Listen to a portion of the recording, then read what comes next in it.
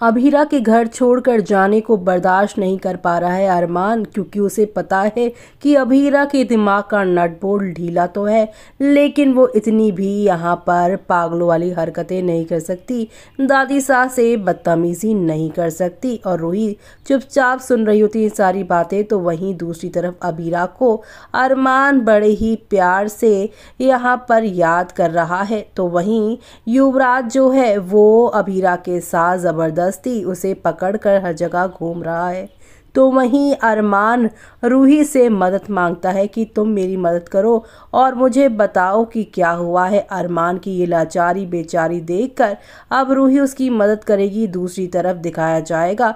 माधव को यहाँ पर एक लेटर छोड़कर गई हुई है अभीरा। अब माधव सिविल ड्रेस में अपने सभी पुलिस वालों के साथ वहाँ पहुँच जाएगा, जिससे अब युवराज को शक हो जाएगा। युवराज चकमा देकर यहाँ से चला जाएगा। अभीरा को भगा कर ले जाएगा और अरमान रूही के साथ अपने पापा माधव के पास पहुंचेगा। जहाँ दोनों बाप बेटे के बीच में झगड़ा तो होगा ही तो वहीं अभीरा और युवराज के बीच में भी हाथापाई हो जाएगी।